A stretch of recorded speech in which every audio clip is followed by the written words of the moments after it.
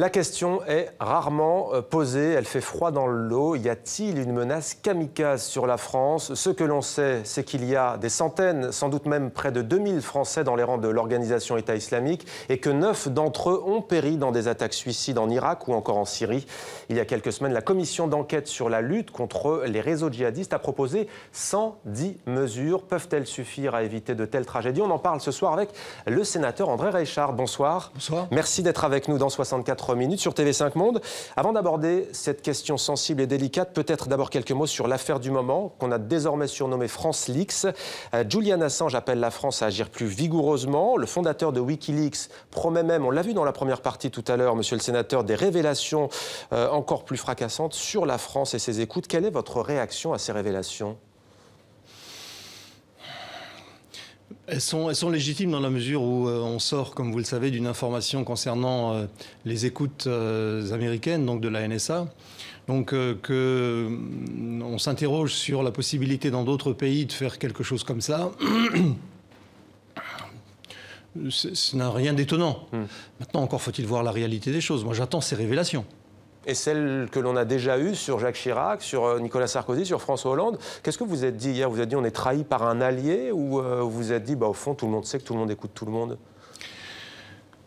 Les deux, les deux. Très, très franchement, je trouve que c'est pas correct. Le moins qu'on puisse dire, c'est que c'est pas correct. Mais enfin, il euh, ne faut pas non plus donner dans l'angélisme. Vous, vous doutez bien, et on se doutait bien que les Américains, dont on sait qu'ils avaient déjà écouté d'autres euh, grands élus d'autres pays euh, n'allaient pas spécialement faire une entorse pour la France. Et donc, euh, voilà, on, peut juste se poser la question de savoir si on n'en avait pas conscience plus tôt dans ce pays.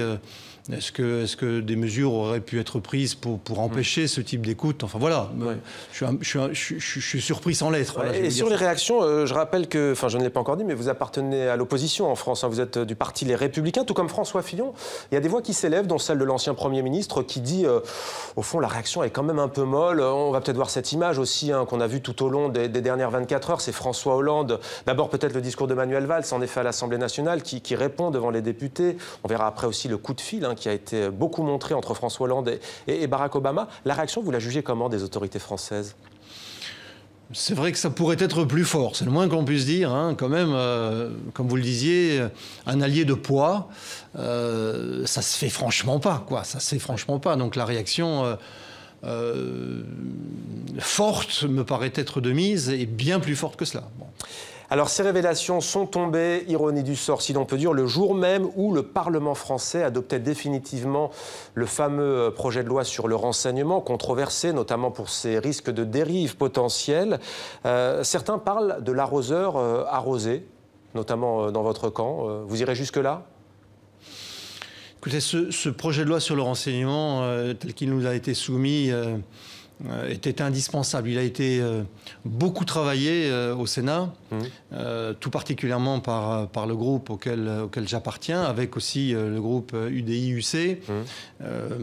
Il, il, est, il, a été voté à une très forte majorité, comme vous le savez certainement. Je parle au, Sénat, hein, mmh. donc le projet tel que nous l'avons amélioré, amendé. Il, il, donne maintenant un certain nombre de garanties à nos concitoyens euh, on, je, peux dire très franchement, mmh. euh, alors que comme je vous l'ai dit, mmh. enfin comme vous me l'avez dit, vous l'avez rappelé aux, téléspectateurs, je, ne suis absolument pas du bord, mmh. euh, je suis dans l'opposition clairement. On peut dire franchement que ce texte à l'heure actuelle nous donne satisfaction. il, respecte les, libertés publiques et, franchement était devenu indispensable. On a d'ailleurs demandé dans, ce rapport de, de la commission d'enquête que j'ai eu l'honneur de présider euh, qu'on euh, on améliore euh, le fonctionnement de nos services de renseignement. C'est un premier pas. Il ne faut, il faut pas, il faut pas se, méprendre. Hein. En tout cas, le président François Hollande et le président du Sénat Gérard Larcher vont soumettre le texte au Conseil constitutionnel afin de vérifier sa constitutionnalité. On aura l'occasion d'en reparler. Alors justement, vous êtes coprésident de cette enquête hein, qui vise à, à, lutter contre les réseaux djihadistes. Est-ce que cette loi sur le renseignement vous paraît efficace Et si oui, pourquoi pour, pour, pour, lutter contre ce risque de voir importer en France d'éventuelles attaques kamikazes? Alors c'est une, une partie de la réponse. Hein. Les services de renseignement ont donné lieu dans ce rapport de la commission d'enquête à de grands développements. Les, outils légaux les plus modernes doivent être mis à disposition de ces services de renseignement et c'est le but. C'était le but de, ce, mm. de, cette loi, maintenant puisqu'elle est votée, je ne parle plus de projet, mais de, cette loi renseignement. À côté de ça, il y a, il y a un vrai problème qui, pour moi demeure pendant, euh, c'est une plus forte mise en réseau des services de renseignement français. Vous savez qu'il y a plusieurs services, mm. notamment euh, des, services de renseignement territoriaux euh, qui sont, sont, sont dans, dans, les territoires, comme on le dit français et qui ne sont plus euh, vraiment aptes à faire le travail euh, qu'on attend d'eux. C'est les anciens RG, ce qu'on appelait les RG, les, renseignements, généraux, qui ont été démantelés à une certaine époque, enfin peu importe, et qui à l'heure actuelle euh, sont un peu dépourvus, c'est le moins que l'on puisse dire. Il faut véritablement doper ces, ces, services mais André Richard, et les mettre plus en réseau. Pardonnez-moi de vous couper, mais comment on pourrait empêcher un, jeune qui rentre de Syrie, ou d'ailleurs qui n'est pas encore parti combattre à l'étranger, de commettre une action suicide en France, alors que déjà Mohamed Merah lui-même n'avait pas été arrêté dans la région de Toulouse lorsqu'il a attaqué euh, une école juive, lorsqu'il a aussi attaqué des militaires français. On a encore vu récemment euh, les frères Kouachi en région parisienne, Amédi Koulibaly. Ceux-là n'ont pas été arrêtés. Comment déceler qu'un homme envisage de se faire exploser euh, dans le métro, par exemple? Alors on ne s'improvise pas euh, djihadiste euh, qui va commettre une action de ce type euh, suicidaire euh, avec toutes les répercussions en termes de... On ne s'improvise pas. Il faut naturellement préparer une action de ce type. Il faut naturellement se doter des, ne serait-ce que du matériel explosif, etc. Mmh. D'avoir un réseau derrière. Il faut, un réseau. Mmh. Donc c'est là où interviennent véritablement les services de renseignement. vous avez compris qu'il faut être en relation avec des gens qui vont fournir. Mmh. on n'est pas là au cocktail Molotov. Hein, pour véritablement lancer une attaque suicide de ce type, il faut du matériel, hein, vraiment. Donc, euh, euh, ces gens-là, si les services de renseignement font leur boulot, je le répète, avec les moyens modernes de, renseignement, techniques de renseignement, avec effectivement euh, cette, mise en, en réseau de tous les services de renseignement, ils doivent être connus. Ce qui est un tout petit peu plus inquiétant quand même, c'est les djihadistes qui sont partis dans ces théâtres d'opération et qui sont de retour et qu'on ne, connaît pas toujours. Hein, mm. Qu'on ne connaît pas toujours. Mm. Pour ça qu'il euh, faut absolument que Schengen, euh, le code frontière Schengen, soit, soit respecté par tous les pays. Allez, clairement, euh, maintenant, c'est presque une lapalissade, c'est de notoriété publique de dire que parmi tous ces gens qui, qui, arrivent sur les cargos au large de la Sicile, respectivement en Grèce, euh, ne sont pas que des demandeurs d'asile, euh, des futurs réfugiés politiques. Il y a là-dedans, naturellement, aussi des djihadistes qui, qui, euh, veulent rentrer pour des raisons différentes, hein, peut-être quelquefois pour s'amender, on n'en sait rien, mais qui rentrent de ces théâtres d'opération. Et ceux-là peuvent, vous l'avez compris, porter et comporter des risques. Et, ceux-là, souvent, ne sont pas connus. je ne sais pas si vous avez suivi, il y a, il y a, il y a 4-5 jours, on a appris que, que trois d'entre eux avaient été, deux d'entre eux, pardon, avaient été remis en liberté euh, non seulement par le juge de la détention et des libertés, mais également après par la cour d'appel sur appel, mmh. euh, sur appel du parquet. Ils ont été mis en liberté. On ne savait pas qu'ils étaient rentrés. Mmh. On, a appris après qu'ils, vraiment après plusieurs semaines, qu'ils étaient rentrés. Alors il y a ce cas épineux, monsieur le sénateur, de ceux, ceux qui partent et de ceux qui entrent. Euh, il y a aussi ceux qui ne sont jamais partis à l'étranger, semble-t-il, comme Sid Ahmed Glam. Cet homme est incarcéré, hein, toujours depuis l'affaire de Villejuif en région parisienne. Et on apprend aujourd'hui qu'il aurait voulu cibler le Sacré-Cœur et un train rempli de voyageurs. On regarde comment parle notre partenaire France 2. C'est avec Franck Genozo. On se retrouve juste après.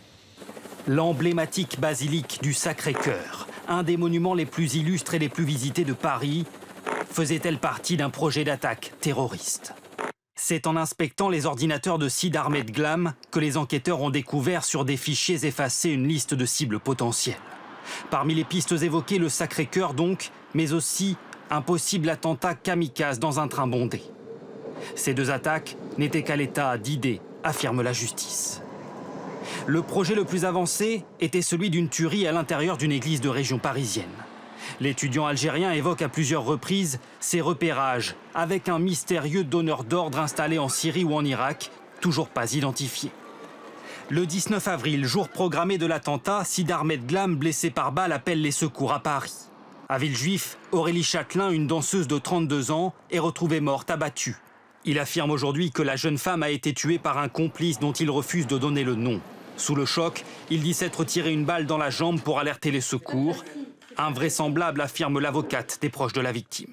Il y a un relevé d'empreintes euh, qui montre qu'il euh, y a eu un corps à corps entre Aurélie Châtelain et lui-même, puisqu'il y a un relevé ADN sur la manche de Sid Ahmed Lam.